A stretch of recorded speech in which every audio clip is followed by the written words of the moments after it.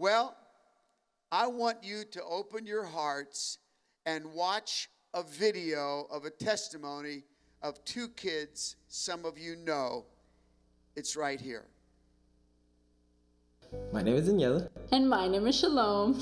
We're just kidding. No, my name is Shalom, and I've been serving on the worship team for 14 years. And I've been playing drums and just been in all aspects of worship. And in doing so, I was able to meet my wife. Me. So Shalom met me in a production called Jesus of Nazareth in 2015, where I gave my testimony. And we really took off from there. We got married and we had our beautiful daughter named Emma Jane. But our lives changed forever when I heard the word Shalom, you have cancer. We had little time to adjust. I mean, it was something that happened so quickly. So we immediately told our family, our pastors, our friends, and the outpouring of love that we received was amazing. Thankfully, Pastor Rich, along with his friend Dr. Dave Martin, came to visit us at the hospital that first week I was diagnosed. And they came and prayed the prayer of faith, of healing over us. And they reminded us that we will be okay in this journey. That prayer really set the tone for our journey to come. We had to really look at each other and we said, okay, God, let's suit up and let's fight and we really had to take the initiative to remind ourselves that we were going to overcome this. In the midst of everything, it was very difficult. Moments where I couldn't get up, moments where I couldn't sleep, moments where I couldn't eat. But I had to continually remind myself that I was going to press forward and that the prayer of healing that Pastor Rich had gave was going to be the one foundation I stood on. I constantly told myself that I'm choosing to do things God's way and however he wanted to go about the situation, I was willing and ready. And the enemy was really trying to distract us. Uh, just financially we were having problems we were away from our daughter at months at a time uh, we got the news that shalom uh, would be sterile and we wouldn't be able to have any more children so all these things uh, the enemy was really trying to distract us from our main focus which was shalom's healing as a wife my priority was to really pray for him the enemy can take whatever he wants but shalom was not for the taking different things like chemotherapy, radiation therapy, even the bone marrow transplant took a heavy toll on my body. I was diagnosed also with a lung infection just because of the weird side effects that comes in doing these different treatments to your body. They couldn't figure out what what was causing this. They just said, "Let's see if it clears on its own. We'll do, we'll run more testing, and then you can come back to us in a couple of weeks." So a couple of weeks pass, and the doctor calls us back into his office. And he tells me somehow the infection cleared up on its own. But that's not even the great news. The real good news is that the doctor informed me that I am in complete full remission. And further testing, further scans continue to progress, but the result was still the same, and that I no longer have any active cancer cells in my body. We just want to encourage everyone not to give up. Your healing is there, whatever it may look like. Miracles are real, and don't give up when times are tough. When God is with you and within you, everything and anything is possible. And we want to send our thank yous to everybody at Trinity. Yes. Pastor Rich and Robin, the whole entire Trinity staff, and the entire Trinity Church congregation. Without you guys, none of this would be possible. Yes, without your prayers, your love, and support, we wouldn't be here today telling you this story. So thank you so much, and we love you from the bottom of our hearts. Thank you. Guys. Wow. Huh? How many believe Jesus is alive today? Hallelujah. On your chair, there is a page of notes that you can follow along with today. I trust that you will. I'd like you to open once again to 1 Corinthians chapter 12 and verses today 7 through 11. This has been our theme passage uh, these past three weeks. The scripture says in 1 Corinthians chapter 12, verses 7 through 11, Now to each one the manifestation of the Spirit is given for the common good. To one there is given through the Spirit a message of wisdom, to another a message of knowledge by means of the same Spirit, to another faith by the same Spirit, to another gifts of healing by that one Spirit, to another miraculous powers, to another prophecy, to another distinguishing between spirits, to another speaking in different kinds of tongues, and to still another the interpretation of tongues. All these are the work of one and the same Spirit, and He distributes them to each one just as He determines. Today, I want to talk to you on this last message the power gifts.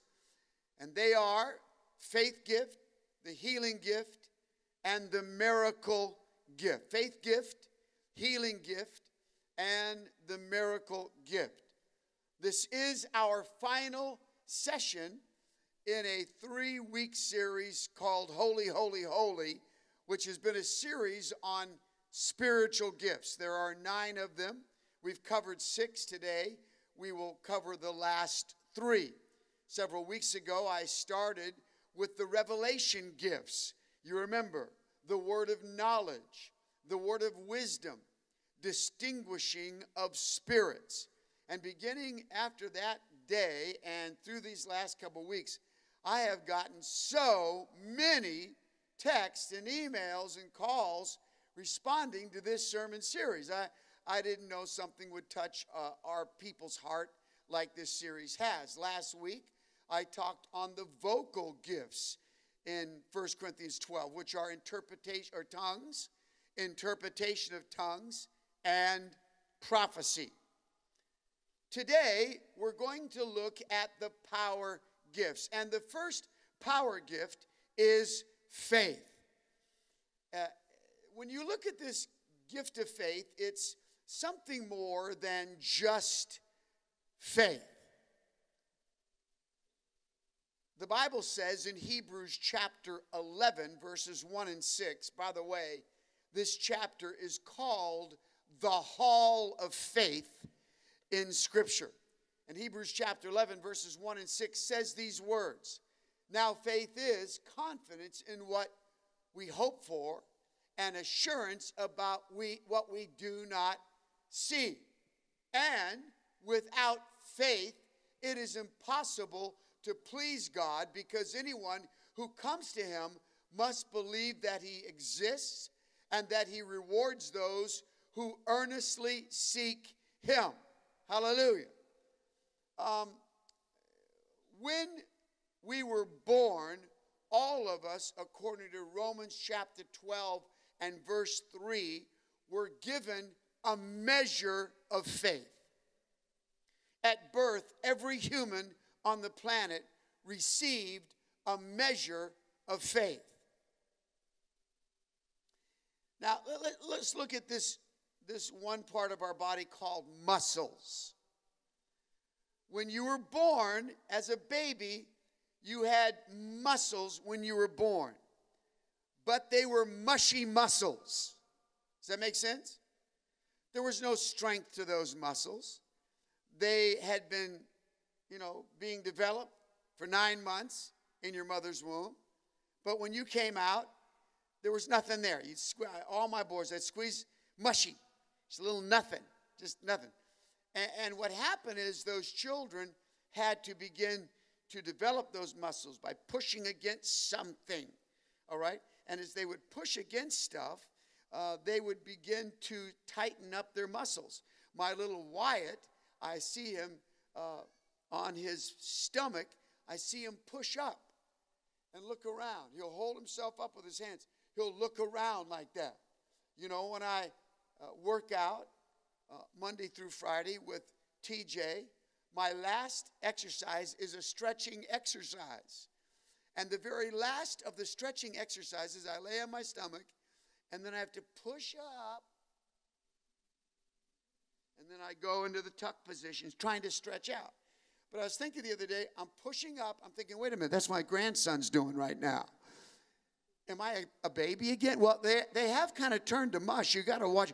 In other words, your, your, your, your muscles develop as you exercise your muscles. As you exercise them, they get stronger. That's the way faith is. If we didn't have faith, none of us would have learned to ride a bike. Wait a minute, let's back up. None of us would have learned to walk. Forget bike riding. None of us would have learned to walk without faith. You see, somewhere in your life, you started to decide, I don't want to crawl anymore. You don't even remember it, unless you didn't walk till you were six or seven.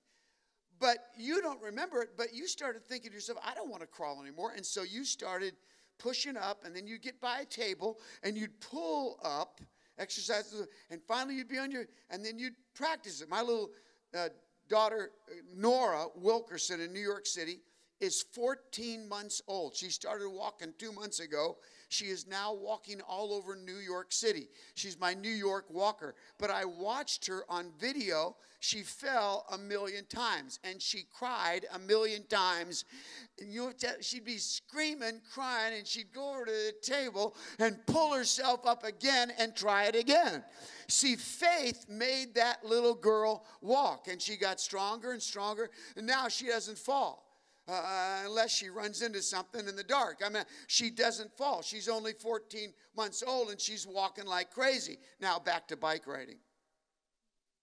Because no one looks at Nora and says, hey, you know what? She's got a gift for walking.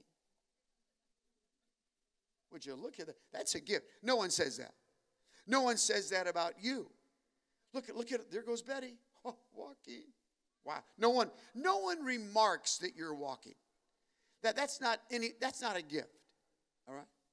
But let's go back to bike riding. I mentioned that briefly. Let's talk about the Tour de France. The Tour de France.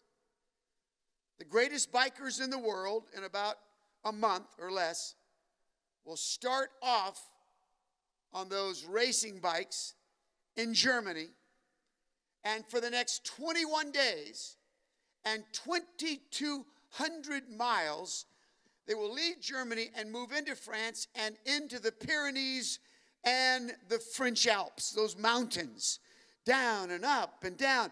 I mean, friends, some people say that this is the most grueling, torturous, physical exercise on planet Earth for an extended three week period of time.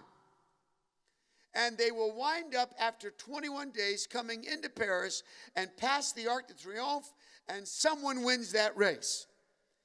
And when those riders come buzzing back into France after 21 days through the mountains, you know what people are thinking as they fly by? Man, they've got a gift. That's a gift. Oh my goodness. Now, some of you in this room, you still can't ride a bike. Most of us can ride a bike. But none of us in this room do anybody say to us, You got a gift to ride a bike. Nobody, nobody does. But when those people come in through the Pyrenees and the French Alps in France in about a month, they'll be saying, Man, that guy's got a gift to ride. That's a gift. Friends, that is absolutely the way faith operates. The more you exercise your faith, every time you come to the end of an opportunity and you reach forward to another opportunity to stretch your faith a little bit more, your faith gets going and it keeps going and it keeps going. And in time, people says, that's a gift. That is a gift. Let me say this. When you walked in today, you all exercised faith. You sat down in that chair. You had confidence that that chair would hold you. And thank God it did. Let me ask you a question. Have you ever in your life seen a person sit down on a chair and the chair not hold them? Raise your hand if you've ever seen that. All right? So the point is, it is possible to strip the molecular structure of the chair you're sitting on. It's possible to split those molecules and crash to the ground or break the molecules down in the legs of that chair and crash to the ground. But no one came into this room this morning. Not one of you came in and, and walked up to the, oh, oh God. Oh, help me, help me, help me. Hallelujah, hallelujah, hallelujah. I'm going to sit down. I'm sitting down. God, watch, watch. Oh, God, I'm going to, ah, ah. No one did that. I saw people coming in arrogantly sit down on the chair as hard as they could. I'm going to tell you something. That is a form of faith. As you exercise your faith, your faith expands. The gift of faith is like that. Friends, don't ever forget it. You see, people like Noah started, started believing God, believing God, to the point that he was the only man with his family on the planet Earth that believed in God. And God said, Because you have, I'm going to spare humankind because of you. And then he starts to build an ark for years, and he's ridiculed and made fun of. But through faith, he pushes through. And one day the rains begin, and it lifts he and his family above the storm.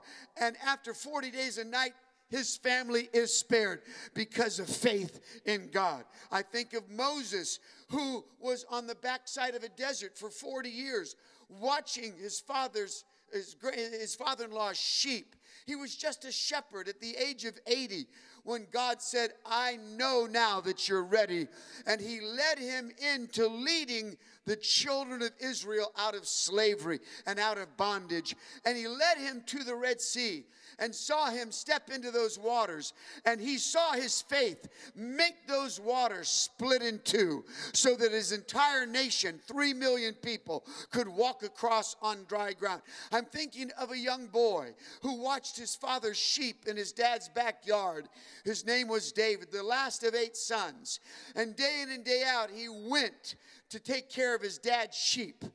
And one day he tore a lion apart with his bare hands. Another day, a bear apart that had come to eat his father's sheep. He tore them apart. Who knows whatever else exploits he did in those sheep fields during those years of guarding his dad's sheep. But as he was doing it, his faith muscles were building and growing. And eventually, there was a giant that threatened his nation. And he said, Hey, God help me to rip a lion apart with my bare hands and a bear apart with my bare hands. What is this uncircumcised giant in the face of Almighty God? You're going down, pal. And David took him out by the power of Almighty God. Now, friends, that is called a gift. Your faith can begin to grow today, and your faith can begin to move beyond sitting on a chair to the point that one day your faith becomes this gargantuous gift from God.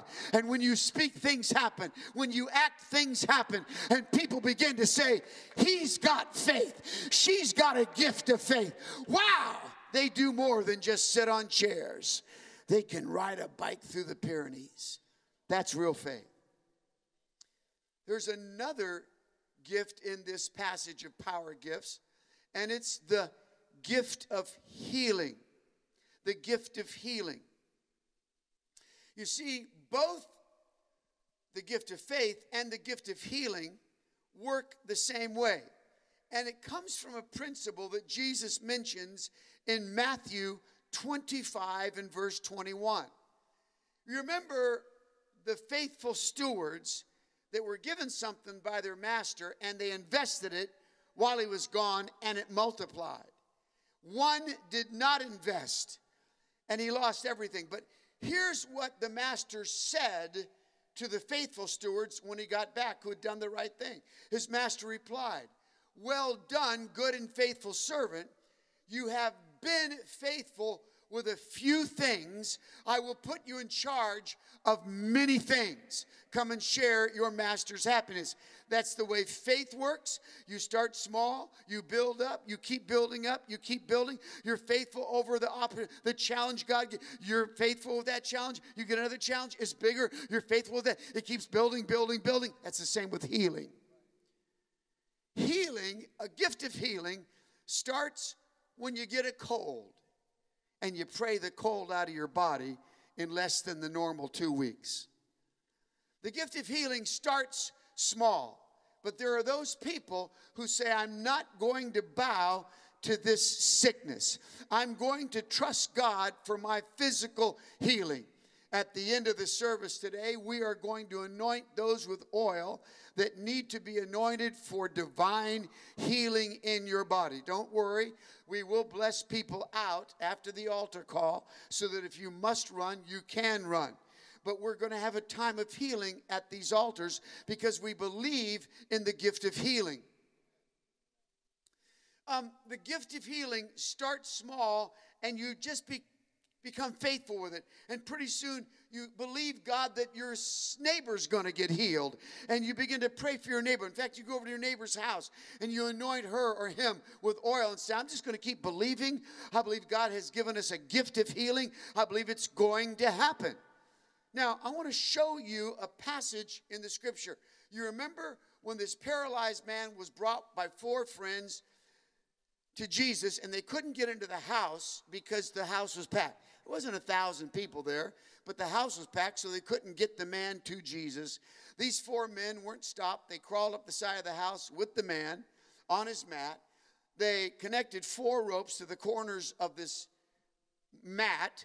They peeled back the roof and they lowered the man through the hole in the roof till he came and rested in front of Jesus where Jesus was teaching.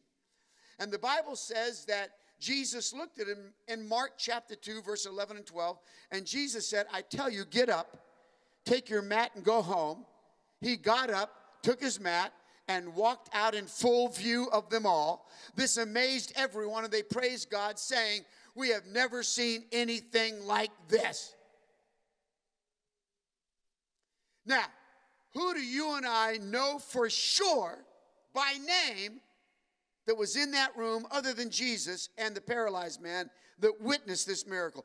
Who do you and I know for sure were there? Well, we know that Matthew was there because Matthew writes about it, right? We know that Luke was there because Luke writes the same story. Luke was there. We know that John was there because John the Beloved, he writes the same story in his gospel. We know that Mark was not there, although I just read from the book of Mark. You see, Mark was just a little boy at this time, maybe 13, 14 years of age. And the truth is that Mark was not the author of his name book. Peter was the author of the book of Mark, Mark was the scribe, he was the writer. History tells us that years after Jesus ascended into heaven, the Bible tells us that in Acts chapter 9, I believe it is, Paul, 8, maybe it was, 8 or 9, Saul was walking towards uh, on the Damascus Trail, and he's on his way to take Christians and put them in jail. He's a radical Jewish lawyer. And on the way, God knocks him off his feet, saves him. And the Bible tells us that Barnabas takes Paul on their first missionary journey after Saul's conversion. And on that missionary journey is a young man named Mark, John Mark. It's Barnabas' nephew. And most theologians believe he's about 16 years of age when he goes with them. Halfway through the trip, John Mark gets discouraged, homesick for mama. So they send him back to his mother.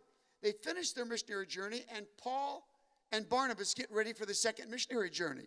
And Barnabas says, We're going to take John Mark again. Paul says, Oh, no.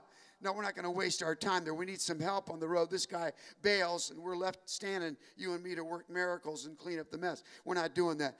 And they got into such a fight. The Bible says that Paul took Silas on the second missionary journey, and Barnabas took his nephew, John Mark.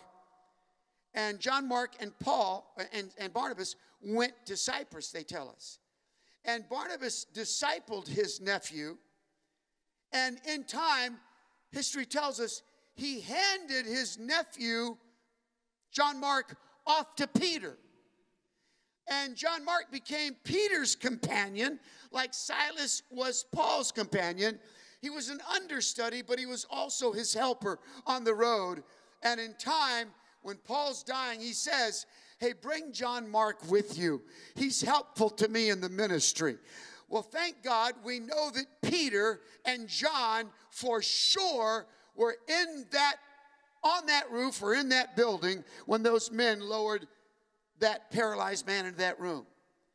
After this, before Jesus goes to heaven, He says in John 14, 12, I shared with a couple weeks ago, Verily, truly, very truly, I tell you, whoever believes in me will do the works I have been doing, and they will do even greater things than these because I am going to the Father. Now, how did they do greater things than Jesus did? Well, first of all, they had to do things at least as much as Jesus did.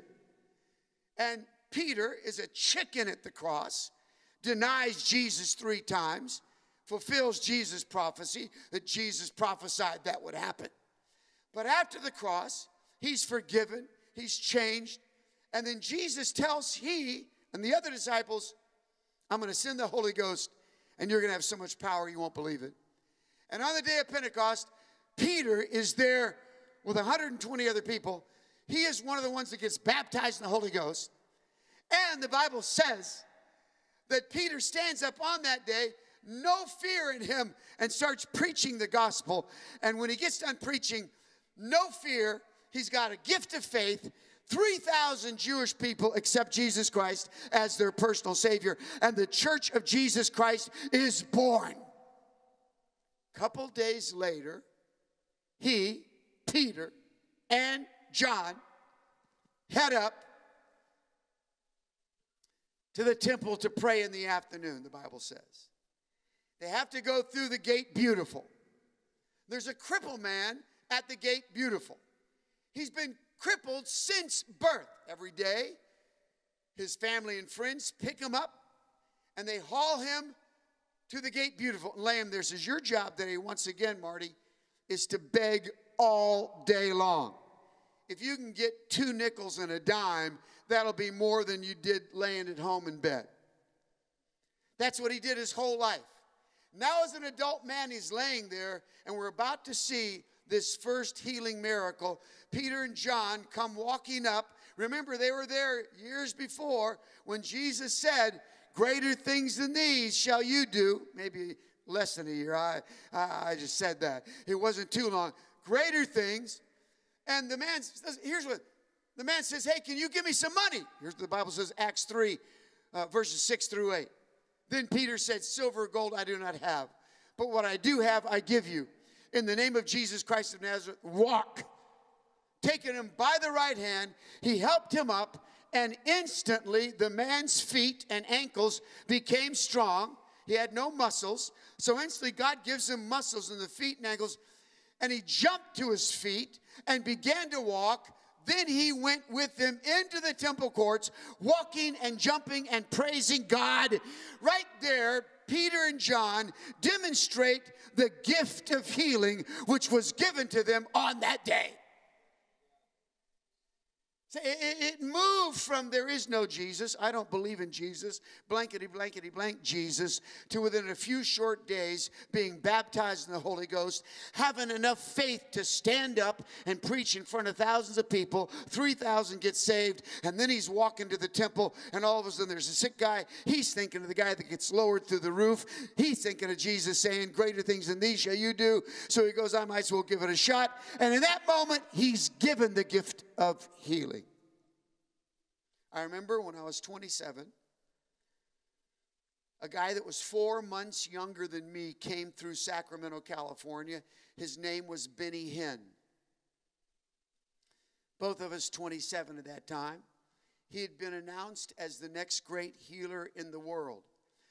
Our church was across the street from the statewide cerebral palsy headquarters for people with cerebral palsy all day long, those people with cerebral palsy were wheeled across this main highway, were dragged across this main hallway, so that when the service started that night, the first four rows, and it was quite a bit wider than our church here, the first four rows were filled with wheelchair patients. Some were laying on beds, uh, no way to even sit in a wheelchair. And poor Benny Hinn got up that night to pray for the sick. And folks, it was bad. I mean, it was bad. Benny preached for 90 minutes trying to figure out what he was going to do with these four rows of up front sick people. And finally, he got enough courage to run down the aisle and reach across to some guy in the back and say, You've got a heart problem. And the guy goes, No, I, I don't. I, I don't have it. He goes, Yeah, yeah, you do now. Get in the aisle in the name of Jesus. You know, hits him on the head. He goes down. And there were about five or six more events like that. It was terrible. It was a crash and burn. I was there, saw it with my own eyes, and I thought, that's terrible. But you know what? Benny Hinn believed he had a gift of healing. No one in the room believed it after that. I didn't believe it. But Benny Hinn believed God had given him a gift of healing. And the next time I saw him years later, auditoriums were jammed. I saw him on TV, auditoriums jammed. The most crazy healing miracles you've ever witnessed in your life were performed not by this man, by the power of the Holy Ghost through him, this gift of healing. Let me tell you something, folks. I don't care what somebody else thinks about you. If you believe God is going to give you a gift, you hunger and thirst for that gift. You study about that gift. You stay up all night long and pray for that gift. And in time, God's going to give you that gift. I believe that those that hunger and thirst after righteousness shall be filled. Those of you that hunger and thirst after healing so that it becomes a 24 7 thing and you're not even sick in your body. God's going to give you a gift of healing if you trust God for it. If you believe it today, shout something. Come on. Hallelujah. The third power gift is what we know as miracles.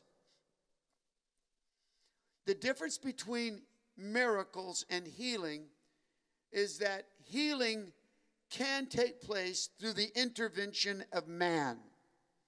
You can be healed if you've got a, a sickness with a pill. You get the right antibiotic, within a couple days, you're healed. Man was given the ingenuity to develop that pill. That's all part of God's divine healing plan. Uh, the more desperate people are around the world with lack of medicine, the greater physical miracles that take place that you hear that just happened at the hand of God because there's no other way for it to accomplish. But the miracle gift is a gift that man cannot make happen. When that Red Sea split, there's not a man on the planet that could make that happen. Not possible. I, I go on and on and on. That kind of a gift is a gift of miracles, and it is totally divine.